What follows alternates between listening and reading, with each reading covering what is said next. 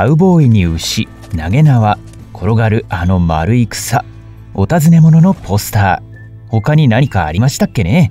そう今回のテーマはニューヨーク。じゃなかった。逆の方角。西部開拓時代です。では皆さんスリリングな歴史の冒険へ行きましょう。ここは1800年代半ばのアメリカの西部開拓時代。この時代人々はとにかくやりたい放題でした。しかしその無法地帯は有刺鉄線というシンプルな発明によって終わりを告げることになったのです。この発明ができるまでは家畜を率いるカウボーイたちは好きなところに行くことができました。そして彼らは農家の土地に侵入し作物や水を牛に与えていたのです。これに対して農家側は自分の土地を守るための選択肢をあまり持っていませんでした。木や石の柵は高価で作るのも大変。中にはトゲのある植物で土地を守ろうとする人もいましたがそのような植物は成長するのに時間がかかりすぎます。それに天候や牛自身に破壊されるという問題も抱えていました。そこで登場したのが有刺鉄線。農家の間で瞬く間に広がったこの発明はカウボーイにとっては大きな障害となりました。多くの牛がこの柵によって傷ついたのです。カウボーイは牛を守るのが仕事。餌や水を何もないところから生み出すことはできません。農家の資源に甘えていたカウボーイたちはやがて廃業に追い込まれていくことになったというわけなんです。西部の荒野といえばあの転がる草。名前はタンブルウィード。実は土地に対して害ばかりをなす外来種の植物です。この植物は土地で簡単にはびこり広大な農地と荒野を侵略していきました。19世紀の終わり頃には西部を飛び出して国境を越えカナダでも転がり回るほどに広がっていったんだそうですよ。じゃあこの植物はどこからやってきたんでしょうか？実は船でやってきました。南ダコタ州に到着したヨーロッパの移民船に入り込んでいたんだと言われています。タンブルウィードは枯れると茂みの部分が根っこから離れ風に吹かれるままに転がっていきます。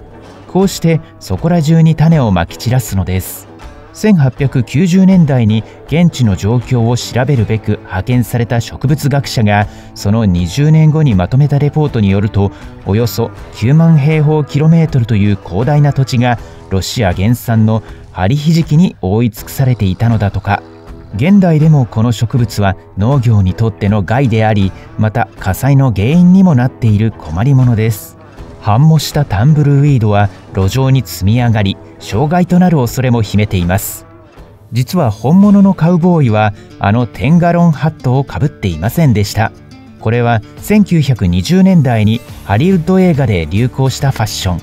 当時のカウボーイや牧場主たちは代わりにブリムハットをかぶっていました。これは映画などによくある脚色。バイキングの兜も角は生えていなかったのに生えていたことにされていましたからね。研究では角の生えた兜はバイキングの2000年前北欧青銅器時代に遡るものということが分かっています。バイキングはまた別の動画で掘り下げるとしましょう。お次は西部開拓時代にいたラクダたち。そう西部開拓時代のテキサス州にはラクダが暮らしていたのです。キャンプベルデで1856年に創設されたのはなんと陸軍ラクダ部隊。アメリカ南西部の環境がエジプトの砂漠に似ていたことが66頭のラクダを中東から輸入するきっかけでした。その後結局ラクダは不要となりサーカスといったあらゆるところへと売られていきました。中には野生に放たれるものもありましたが1941年の目撃情報を最後に姿は見られなくなったようです。他に西部開拓時代といえばやはり1849年に起こったカリフォルニアのゴールドラッシュでしょうか。実はこのゴールドラッシュアメリカ初のものではなかったんです。それどころか2番目ですらありません。ノースカロライナ州で父親の農場で働いていた親子が不思議な黄色い石を発見しそれが何かわからなかったためにドアストッパーとして使っていたということがありました。そしてある日宝石商が家を訪れた際にその石が金塊であることが分かったんです。こうして1799年に発見されたのが 8kg の金の塊。これがゴールドラッシュへとつながっていきました。当時のアウトローといえば例えば伝説的なビリー・ザ・キッド。生い立ちについてはあまり多くが分かっていませんが1859年のニューヨークのアイルランド人界隈で生まれ育ったと言われています。彼はよく偽名としてウィリアム・ H・ ボニーと名乗っていました。1860年代頃ビリーと彼の母親と兄弟たちはインディアナ州西部へ旅をしそこからさらに西を目指すと決めました。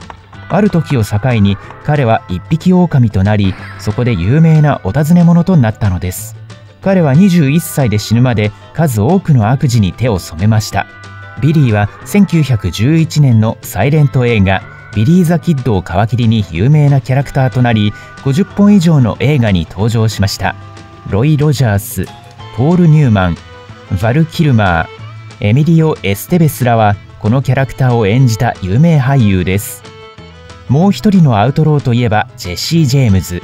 西部劇のお尋ね者の典型のような人物ですね。1876年にミネソタ州第一銀行に押し入った彼はそれ以来銀行強盗と列車強盗を繰り返し死後には所有する農場の庭に埋められたと言われていますあまり華やかな最後とは言えませんね時とともにジェシーを恨む人たちもいなくなりどうやら本当に庭に埋められたようだと人々が信じた頃 J. フランク・ダルトンという名の101歳の男が1948年に自分が本物のジェシー・ジェームズであると名乗り出し裁判所によって法的にその名を名乗る権利を与えられました。しかし DNA 調査をしたところジェシーの遺体は本当に墓に収められていたことが分かりました。一体この男がどうしてジェシーと名乗ったのかそれについては謎のままです。写真の発明によって正義が悪に対してより強くなったと言われています。政府が使った写真は犯罪を犯した者が受ける刑罰の様子を鮮明に映し出していたんだとか。恐ろしい。ブロンコビリー・アンダーソンは西部劇という映画ジャンルの発明者。1900年代初頭のスターであった彼は文字通り何十本もの映画を制作し出演も務めました。映画大列車強盗の成功を受けて彼はブロンコビリーという人物像を作り出し多くの西部劇に出演。最初の人気カウボーイ役となったのです。お次は当時の通信事情。情報は素早く伝えなくてはなりません。そこで当時利用されていたのがポニーエクスプレス。19世紀中頃から始まったこの速達サービスは馬に50通の手紙と3部の新聞を積みミズーリ州からカリフォルニア州までのおよそ 2000km を運びました。早馬を飛ばしてこの距離を移動する仕組みは 20km ごとに馬と配達人を交代させるというリレー方式で運用されていました。当時としてはこれが最速の伝達手段だったんです。馬は手紙を大西洋側から太平洋側まで10日で運んだと言われています。その後やってきたのは電信の発明。西部劇というと電報よりもサボテンのイメージが強いかもしれませんね。しかし電信は1837年にサミュエル・モールスが発明して以来社会を劇的に変化させました。電信柱が何キロにもわたって連なり国中に電線が渡されるようになるとポニーエクスプレスはもはや過去の遺物にすぐに廃れていくことになりました。電信によって人々は瞬時にメッセージを送ることができるようになりました。